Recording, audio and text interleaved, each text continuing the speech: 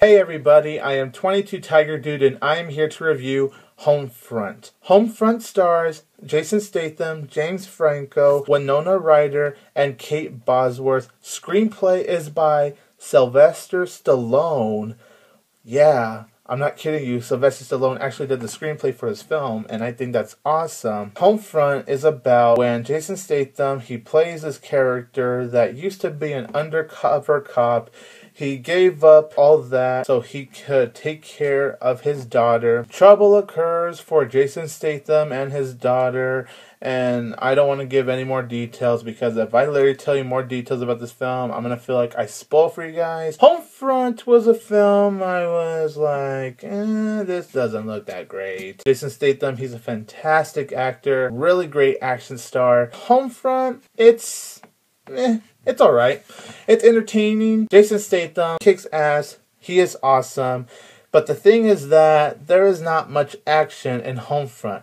So if you're expecting a whole lot of Jason Statham kicking ass scene by scene by scene, you are going to be disappointed. When the action in the film is there, it is actually awesome. And I gotta say, the action sequences in Homefront are very well choreographed when you see Jason Statham slamming people against the car or through the window, you could really feel the pain. The sound effects when they're getting hurt, it's just plain terrific, a bit brutal.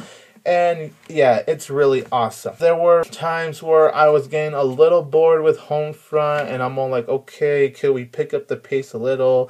And there were other times where I'm all like, uh, okay, this is actually pretty good. One of my issues with Homefront is the use of F-bombs in the dialogue. The dialogue is bad at times, and when they use the F-bombs in a bad dialogue, it just makes it more cringeworthy to hear. The storyline isn't great, not very good actually. It's poorly executed. James Franco, though, he was awesome. You're used to see him going, Hi, my name's James Franco. How you doing? Holy crap, he is pissed off every scene. He is angry, he shouts. I'm not used to seeing this kind of James Franco before because we're always used to seeing him be so happy. James Franco was really good here. I really enjoyed him as his villain. He was menacing at times and he was a little silly at times and he could be menacing and silly at the same time. And he actually pulled that off really nicely. Winona Ryder, she was alright. Kate Bosworth, she was alright, but her character really got on my nerves, and she's one of those characters that literally has to F bomb all the time. Clancy Brown, the voice of Mr. Krabs in SpongeBob SquarePants, is in this film as the sheriff. Although not in this film a whole lot. I think he does do a good job. The finale of the film was really awesome as well. That was probably my favorite action scene out of the whole film. Homefront overall is an alright movie. It's entertaining. It's easily forgettable. Jason Statham is a badass. James Franco is awesome.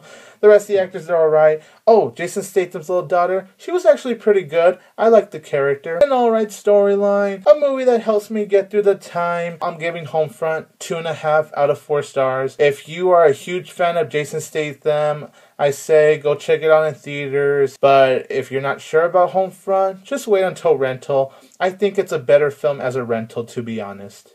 Subscribe to my channel, comment your opinion on this film, like and share this video, follow me on Facebook and Twitter. I am 22 Tiger Dude. Don't forget that I will always have Tiger Power!